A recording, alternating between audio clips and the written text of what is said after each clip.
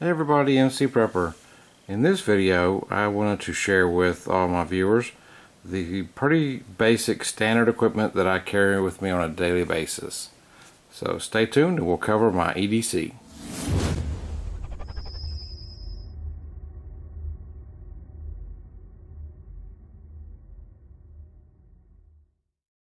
In this video, I wanted to make the first video that, uh, as far as covering EDC. I've, I've never done one of these videos before, but this is just the basic equipment that I carry with me um, day in, day out. Uh, just stuff that I use pretty much all day, every day. Uh, and, and I will add a few things here and there, but this is typically what is on my nightstand, on my dresser, and I will not leave the house with without these things. So let's go this start and I'll uh, let you see what I carry. So obviously just this just happens to be some chapstick that I picked up. Uh, but you always can use some chapstick. I don't smoke, but I do like to carry a lighter just in case I need to. Uh, sometimes I melt the ends of uh, paracord with this. I've used it to light little fire starters, things like that. So I carry one of the little mini Bic lighters with me. I will typically, if I ever go to the grocery store, Walmart, whatever, uh, you can buy a pack of three of these for two two fifty. So I, I, usually will buy those every now and then, so I have spares of these, uh, just to have one with me all the time. Uh, I like these smaller Sharpie markers, uh, just the standard point that most people have seen. This one's kind of neat because it's got a little cap on it. I have put this on a lanyard sometimes if I'm marking a lot of cardboard boxes, but I like to carry a, uh, a small Sharpie with me. Uh, next is uh, flashlight. I believe that everybody should carry a flashlight with, with you. Uh, I like this one. Uh, Fenix is, is a real nice brand. A lot of people have heard this brand before. This one is the Fenix E05. Uh, it retails currently for about $20 and I'll have a link to this uh, in my Amazon store so you'll be able to pick one of these up. Just a single LED. Uh, it's one that runs off of AAA batteries and and I think in this one I have the Duracell Quantum uh, AAA battery having the O-ring in, built into the flashlight makes the flashlight waterproof. This flashlight is rated IPX68, so that means that it is waterproof uh, in up to six feet of water or two meters for 30 minutes. Uh, uh, the, it, it has three levels of light. It starts out with 8 lumens with a rechargeable nickel metal hydride, it says that it will run for 14 hours 30 minutes. On the alkaline that's in here, it should run for 15 hours. The next setting is a 25 lumen setting. It on a rechargeable battery, it should run for 4 hours 15 minutes. And the same on a alkaline, 4 hours 15 minutes. And then the high setting is 85 and on a nickel metal hydride it should run for an hour. Uh, and on an alkaline battery it's not as good. It will run for 45 minutes. The real nice thing about these is that it is somehow they actually work a microprocessor into the head of this light. So they say that it's the voltage is digitally regulated so it maintains constant brightness uh, for pretty much the life of the battery. Um, it, you will have, uh, and I've seen this because I've owned this flashlight for a long time, uh, and I actually own several Fenix flashlights. You will have the same brightness up until the battery dies, and it will sometimes surprise you because your light's working fine, and then the battery will just die and you really don't get any more light out of it. It, it uses it up until it's just completely dead. Um, it weighs 12.5 grams, uh, and it or 0.6 ounces, Uh, it says the dimensions is 2.6 inches, um, 0.5 and 0.5. So I guess this way, and so it's basically being circled. It's half an inch uh, and 2.6 inches. But this has just been a great flashlight, and, and I do like it. You get a lot of light out of a AAA battery, and it doesn't weigh very much. So you can see it's about the same size as the Swiss Army knife that I'm going to show you next. I believe this one's called the Rambler.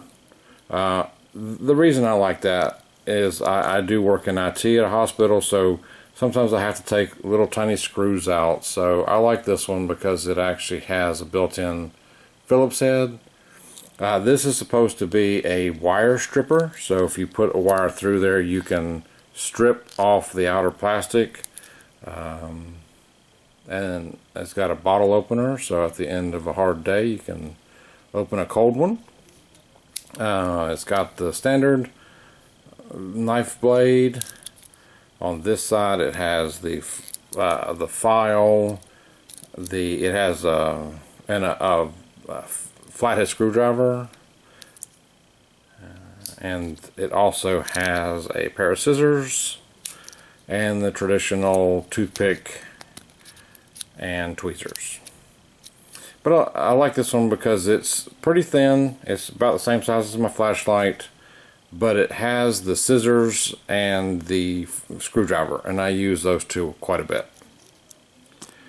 Uh, as far as a multi-tool uh, I like the Sidekick uh, as uh, this model because you've got a standard blade and you've got a saw. Not that um, I, I, would. I mainly carry this not for work specifically for, but if I were just going to do some hiking or just uh, if or if I had to walk home or something, I, I, have a way to cut some branches or cut a little bit of kindling. So I kind of like the uh, saw built in. Um, I actually also have the Wingman. Uh, in in place of the saw, it has a pair of scissors on this side, and then it has the traditional um, set of pliers. You know, and it's got all the the uh, regular other tools in there. I won't bore you with that, but uh, I use this tool a lot. Um, it, it, just when you need a, a heftier screwdriver or a set of pliers, uh, it's just hard to, to, you just can never find those tools.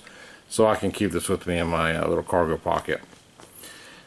So this has just been the knife that I've been carrying lately. I got it as a Christmas present from my kids uh, this past Christmas. It's a Gerber. It, came with a flashlight kit.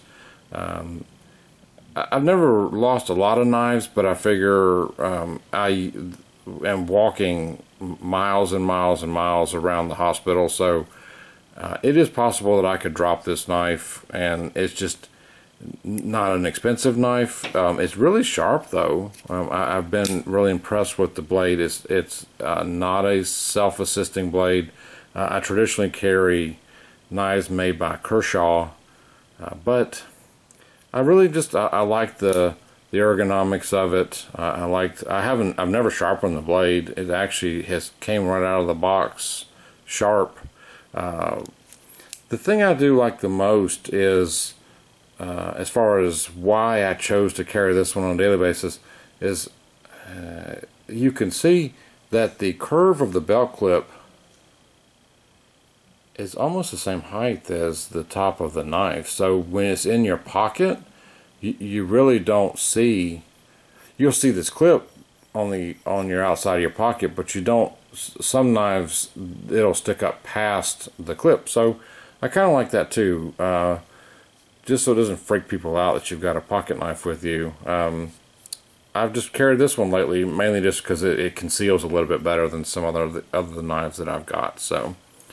Uh, and then last but not least, um, this is a wallet that I picked up maybe going on a year now. Uh, I can uh, look it up and see, but it's called the Big Skinny. The reason I like this one is you can kind of see down in there, I've got quite a few cards, uh, I've got some cash in there, but even as many cards as I've got in there, it, it just folds or it just lays so flat. Uh, this is the most cards I've probably ever had in there, mainly because I've had to change. Uh, it's that time of the year where you get a new card and I still have the old card, so I haven't gone through and and uh, cleaned that out. But um, you've got two. Uh, block my ID there, but you've got two pockets on either side. Um, you can store cards in there, store cards in there, and then you just have a place for the cash like normal. But it's a lightweight wallet. Um, it's held up very well um, as far as uh, just the ruggedness of the wallet. I'm not exactly sure. It's not. Uh, it's some kind of nylon or there's a actually there is a tag in here. I think that may say. Oh no, it just has the, the, the name of the wallet and where it was made. Um, but it's also uh, rubber or plastic lined on the inside, so it makes it for very, uh, very rugged wallet. So I've thoroughly enjoyed that wallet, um, and I, if it wears out, I'll probably try and buy another one. So that's it, really. This is this makes up what I carry on a daily basis. Um, it covers a lot of the different tools uh, as as far as um, getting into the five C's, you know, I've got a way to cut, I've got a way to start a fire.